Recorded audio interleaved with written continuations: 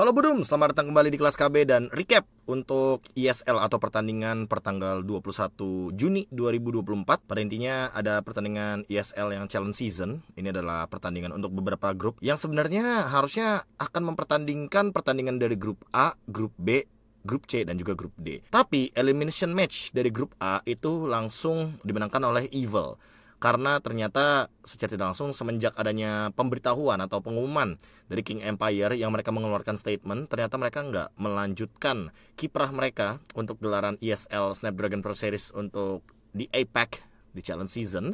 Jadi secara otomatis Evil akan ketemu sama Evo Soli untuk di hari Sabtu kalau nggak salah. Nggak tahu di hari Sabtu atau mungkin akan bertanding di hari Minggu teman-teman dan karena tidak ada pertandingan untuk grup A, makanya akan gue langsung skip. Gue bakal bahas untuk di grup D dulu, grup B, baru grup C. Karena pertandingannya urutannya memang itu pertandingan dari Rebellion Esports versus Omega dulu, lalu ada pertandingan RRQ Hoshi melawan RSC Singapura.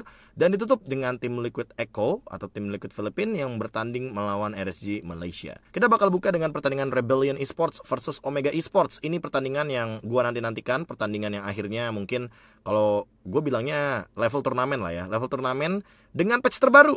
Dan ternyata kalau kita ngomongin soal fighter-fighter jungler kayaknya masih lumayan rare, masih lumayan jarang kecuali dari Omega Esports di game yang kedua. Tapi kita bakal bahas game pertama dulu teman-teman. Game pertama Omega Esports membawakan Fredrin, Faramis dan juga Moskov, tiga hero yang sebenarnya masih cenderung meta di season lalu dan dibawakan juga di patch yang sekarang. Rebellion masih membawakan draft mereka yaitu adalah Teris Lamit, lalu membawakan Minotaur, Nathan, Roger dan juga Edith. Sementara untuk Omega mereka berkutat kepada Cici dan juga Grok sebagai jangkar permainannya. Jadi Omega Esports ini selalu memanfaatkan gimana pun caranya teman-teman dari Rebellion itu ngumpul di satu titik karena memang ulti Faramis atau mungkin karena ultimate dari Cici baru tuh nanti Caknu nge-follow up di momentum yang tepat gitu loh. Pada intinya di game yang pertama Rebellion Esports tuh bener-bener kebait sama ultimate dan presence atau kehadiran dari Cici dan juga Faramisnya. Makanya mungkin beberapa kali teman-teman melihat momentum kalau misalkan Rebellion Esports ini ketabrak mulu sama wall charge-nya Grok dan Omega malah dapetin momentum baliknya karena memang efek stunnya kan 1,8 detik ketika nempel sama tembok dan Cak Mamba atau Cak Nu menjadi salah satu player kunci untuk di pertandingan yang pertama. Andorio membawakan Fredrin dan build langsung ke Thunderbelt, tapi dia nggak build untuk first item, sehingga kita tidak melihat banyaknya hybrid defense yang didapatkan. Gue sempat ngitung itu kalau nggak salah ada sekitar 4 atau 5 hybrid defense yang didapatkan itu langsung menang gamenya karena gamenya emang cuma 11 menit teman-teman. Lanjut ke game yang kedua, Andorio membawakan Bane Jungler di last pick mereka dan memang ini Rogernya agresif banget. Gue juga sempat ngelihat gimana permainan dari Omega yang membawakan Sky Piercer juga dengan Bane sebagai pemainnya atau sebagai penggunanya. Lalu kalau dari yang kita lihat sebenarnya ya fine fine aja sih untuk fighter fighter jungler ya kayak Bane mungkin atau mungkin yang punya tipe burst juga. Mungkin kalau selain Bane gue bakal mention contohnya kayak Dairot kali ya. Itu mungkin kayaknya bakal cocok tuh untuk membawakan Sky Piercer. Tapi entah kenapa ya teman-teman ya semenjak melihat Omega Esports dan nanti akan gue bandingkan tentunya dengan match yang ketiga. Omega Esports ini ngebawain Sky Piercer di Bane first item dan gue rasa gue mulai yakin kalau seandainya Sky Piercer ini akan lebih baik kalau misalkan di build di item yang kedua atau item yang ketiga mungkin untuk para jungler karena kalau misalkan Sky Piercer emang bagus gitu loh dia punya movement speed tambahan adaptive attack tapi entah kenapa karena beberapa status yang kayak HP atau mungkin status-status lain kayak misalkan damage, movement speed atau bahkan pertambahan dari segi critical chance atau sejenisnya itu kayak beberapa item tuh lebih bagus. Contohnya kenapa di sini case-nya gue ambil Bane. Bane itu gue rasa kayak War Axe lebih bagus gitu loh. Karena ada pertambahan darah, ada pertambahan spell fam. Yang di mana connecting banget sama skill-skillnya Bane. Jadi mungkin buat teman-teman, apalagi per video ini di upload, itu jam 3 sore kan bakal ada reset season ya. Jadi harusnya ya teman-teman standby aja kalau emang kalian mau spam Bane, Roger di jungler itu kalau bisa Sky Piercer-nya nggak usah buru-buru nggak apa-apa kok. Kalian mungkin bisa optimalkan untuk item-item yang kayak War Axe, item-item yang mungkin kayak Endless Battle. Jadi kalian bisa lebih bertahan hidup gitu loh dalam team fight besar sehingga perbandingan Omega Esports di game yang kedua itu bisa kalian implementasikan dengan sesuatu yang bisa lebih perfect gitu loh ketika berjalan. Lanjut ke pertandingan RRQ Hoshi melawan RSC Singapura. Ini adalah pertandingan yang menurut gua sangat-sangat one sided. Gamenya nggak nyampe 10 menit, gamenya 9 menit 23 di game yang pertama, lalu ada 9 menit 30 detik untuk di game yang kedua. Tapi kita bakal bahas untuk game yang pertama dulu, yang di mana game pertama ini RC Singapura membawakan dua hero scaling, tapi diimbangi dengan adanya Khalid dan juga adanya Fredrin.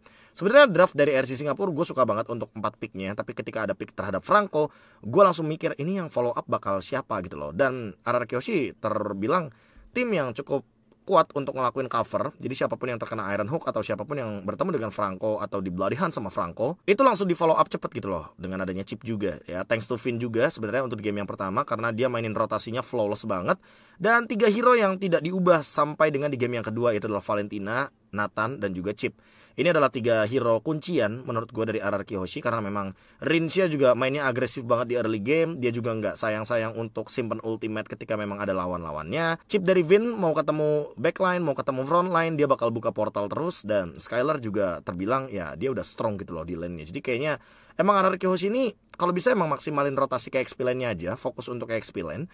Karena emang kalau ngomongin Skylar di gold lane ya, dia jarang gitu loh untuk kalah 1v1 situation. Jadi line up kayak gini kayaknya udah lumayan oke okay untuk tetap di keep ya untuk di gelaran SPS ESL. Jadi mungkin masih bisa terus improve apalagi nanti akan ketemu sama Falcon dari Myanmar. Ngomong-ngomong soal game yang pertama dan game yang kedua, perbedaan dari game yang pertama dan game yang kedua adalah game kedua RC Singapura membawakan Freya Jungler. Jadi bisa dibilang sebuah cistrat yang sebenarnya pernah mereka bawakan dari RC Singapura waktu berhadapan dengan Falcons di babak grup B opening match tapi sayangnya kali ini ketemu sama Hayabusa yang di mana Hayabusanya juga dari awal snowballing banget, dapetin Sky Piercer cepet banget. Dan kalau gua rasa ngomongin build item, emang lagi-lagi ya teman-teman bisa melihat bagaimana komposisi item tuh akan lebih perfect kalau misalkan Sky Piercer itu nggak bener-bener literally first item gitu loh. Contohnya kalau teman-teman nonton full RR Kyoshi versus RC Singapura itu Hayabusanya Versik bikin Fury Hammer dulu. Dia tuh pengen bikin penetration point terlebih dahulu, baru tuh dia bakal manfaatin Sky Piercer sebagai eksekutor itemnya. Dan kalau teman-teman lihat juga kayaknya Versik ini jarang join untuk tim fight besarnya kecuali ketika dia emang bener-bener bisa untuk dapetin point kill. Nah ini akan ada elaborasinya nih buat teman-teman juga yang mungkin mau push rank, terutama ketika nanti ada reset season. Ketika kalian mungkin bermain dengan Hayabusa atau kalian bermain dengan fighter-fighter damage dealer tapi kalian mau bawain Sky Piercer di dalam line up draft dan juga komposisi item kalian, kalau bisa maksimalin yang pakai Sky Piercer ini buat dapetin lasitnya. Kenapa nggak dibiarin aja gitu loh? Kayak misalkan ya udah kalau emang kelasit sama mid laner walaupun mid lanernya nggak bikin Sky Piercer nggak apa-apa gitu loh. Menurut gue itu bakal jadi ancaman, bakal jadi masalah. Kenapa? Karena satu point kill sangat-sangat penting sekali apalagi di level turnamen. Dan dengan adanya Sky Piercer yang di mana Sky Piercer nanti mungkin akan stacking up lebih mudah lagi untuk para assassin. Dan kalau misalkan killnya dikasih ke pengguna Sky Piercer atau si pemakai Sky Piercer ya udah otomatis stacknya bakal makin lebih cepat untuk didapatkan. Sehingga persenan HP-nya akan lebih mudah lagi juga untuk bisa meningkat terus. Karena maksimal tuh 12% kan itu bisa langsung tereksekusi. Sementara karena Sky Piercer ini masih terbilang overpower nggak ada cooldownnya terus juga harga itemnya sih menurut gue. Harga itemnya masih cenderung murah expert glove yang 500 dapetin efek yang sangat-sangat luar biasa gitu loh. Itu membuat seharusnya beberapa player terutama kayak contohnya Versik di sini itu selalu mengoptimalkan untuk bisa mendapatkan lasit-lasitnya. Makanya kalau teman-teman melihat bagaimana RR Kyoshi bermain di game yang kedua, itu rata-rata pasti mereka tuh pengen ngasih poin killnya ke Versik karena biar nanti Sky Piercernya bisa lebih snowballing lagi, menyentuh ke 60 stack tentunya nanti bakal menambahkan bagaimana daya dobrak dengan adanya persenan HP yang bisa lebih instan dan Freya dari RC Singapura yang niatnya ingin menekan pergerakan dari RR Kyoshi di early game dengan assassinnya ternyata masih belum terbukti untuk bisa berhasil gitu loh ketika kita berbicara untuk game yang kedua. Permainan cenderung cukup sangat-sangat cepat pembantaian pun terjadi point kill juga sangat-sangat tinggi sekali. Dan kalau kita ngomongin soal grup B berarti per hari ini per video ini diupload Falcon akan ketemu sama RR Hoshi Evil ketemu sama Evos Holy dan ini dia untuk grup C. Yang di mana setelah pertandingan dari tim Liquid Echo atau tim Liquid Philippine menang terhadap RSG Malaysia, berarti tim Liquid Echo akan ketemu sama CFU Gaming kembali rematch lagi setelah mereka kalah 2-0. Tapi kita nggak bahas soal CFU-nya, kita bakal bahas pertandingan RSG Malaysia melawan Liquid Echo. Yang di mana lagi-lagi untuk metode atau tim-tim Philippine mereka menggunakan tank jungle. Tiga game bener-bener mereka gunakan tank jungle-nya. Game pertama Carl TZ menggunakan Fredrin, game kedua, game ketiga Carl TZ menggunakan Basha. Sebenarnya kalau ngomongin draft di game yang pertama dulu deh teman-teman RC Malaysia ini cenderung membawain draft yang scaling late gamenya minta ampun. Mereka punya Link mereka punya Cecilian mereka punya Cloud juga. Tapi gue ngerasa kayak ini RC Malaysia bawain hero-hero late game. Gameplaynya kenapa gameplay yang early game banget ya? Mungkin apakah karena memang lawannya Liquid Echo udah kelihatan gitu loh Bahwa Fredrin, oh Fredrin kuat banget gitu loh dengan HP yang tebal. Sehingga first itemnya dari Cecilian aja langsung Wishing Lantern. Yang di mana itu akan membuat persenan HP dari Fredrin itu akan menjadi damage-nya sendiri gitu loh. Dan setiap kali Cecilian memberikan 800 damage, damage tambahannya itu berdasarkan total HP dari target si Cecilian-nya 10% maksimum HP, yaitu adalah si Fredrin. Fredrinnya juga nggak sendirian, Fredrinnya sama Kaja, sama Masya. Makanya mungkin beberapa kali kalau teman-teman lihat, ya Liquid Echo tuh bener-bener bonyok gitu loh. Bahkan sebelum adanya Objective Lord, bahkan sebelum adanya teamfight besar. Dan RC Malaysia menurut gue lumayan menggigit untuk di beberapa situasi. Makanya Liquid Echo sampai dibawa ke late game banget ke 19 menit 20 detik. Tapi lagi-lagi thanks to Papa Benny Benny Cutie tiba-tiba membawakan Sky Piercer di Beatrix-nya dan itu menjadi game changer yang luar biasa karena memang ada beberapa momentum kayak snipernya Benny Cutie connecting ke Link terus langsung tereksekusi dengan 3100 physical attack. Itu kayaknya gue yakin ada persenan HP tambahan yang dipadukan juga dengan Sky Piercer. Lalu untuk ngomongin soal combo ya combo Masya dan juga Kaja ini benar-benar menjengkelkan banget. Targeting ke lini belakang atau zoning out ke lini belakang udah pasti bakal terjadi makanya Cecilian sama Cloudnya ini kayak nggak bakal bisa ngelakuin deliver damage secara bersamaan. Pasti ada salah satu dari mereka yang ke zoning out dan minimnya damage tersebut yang dimanfaatkan sama Liquid Echo. Di game yang kedua, Baxia dari Carl TZ bermain seperti assassin.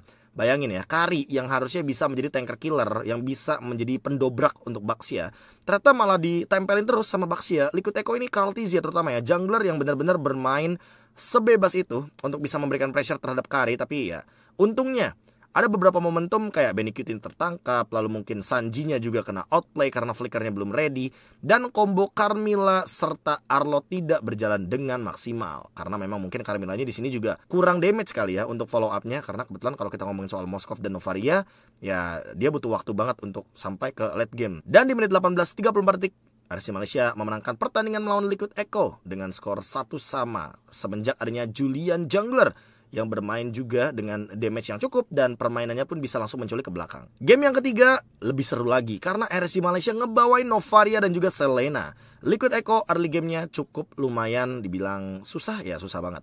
Tapi semenjak satu point death dari Benny Cutie, semenjak Benny Cutie dikalahin di early gamenya, ternyata Benny Cutie nabung banget untuk satu item baru lagi, Sky Piercer yang sepertinya mencuri perhatian kita untuk tentunya bisa ngereng, bisa tentunya nanti pas reset season untuk menuju dari epic ke mythic tentunya dalam satu hari. Kayaknya Roger Sky Piercer ini tentunya bisa menjadi ancaman. Karena terbukti semenjak Liquid Echo terutama untuk Benny Cutie ya bermain di early game temponya yang cenderung pelan tapi tiba-tiba semenjak dia punya Sky Piercer dia tuh cuma datang sebagai eksekutor kalau teman-teman mungkin lihat beberapa kali klipnya Benny Cutie Benny Cutie tuh dapetin point kill bahkan sampai satu lusin loh dia dapetin satu point killnya bahkan Benny Cutie sampai dapetin satu lusin kill atau total-total lebih dari 12 kill karena memang efek dari Sky Piercer, Roger dan juga Lycan Punch. Bahkan kalau teman-teman lihat ya itu akainya dari Venogo, junglernya si RC Malaysia, itu sekali garuk sama Roger, hilang seketika. Karena efek dari Sky Piercer-nya yang udah numpuk stacknya, kayaknya udah 60 stack. Dan itu tentunya mempermudah banget tipikal fighter